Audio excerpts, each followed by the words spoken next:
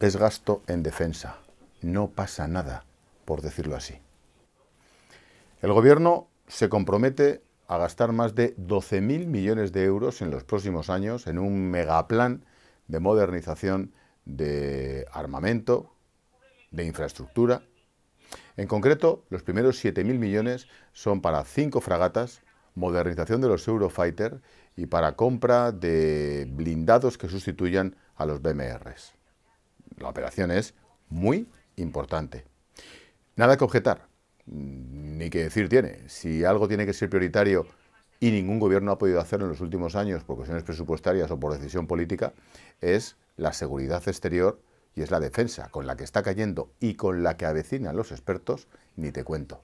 El problema no es el hecho en sí, el problema es cómo lo argumenta el gobierno. La propia ministra de Defensa, Margarita Robles, la portavoz del gobierno, Isabel Cela, hablan de esto es un gasto social que va a crear empleo en Navantia, en Galicia. Sí, también. Pero es que según eso, cuando Arabia Saudí compra, compra por gasto social.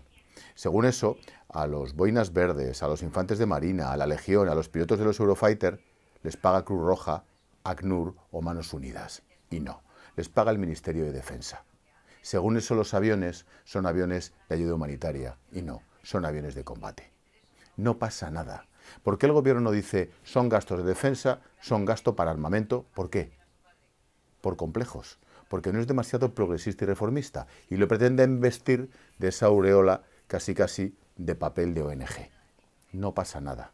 Por decir la verdad, es un gasto en defensa, como tiene que ser, como ningún otro país tiene complejos, salvo nosotros.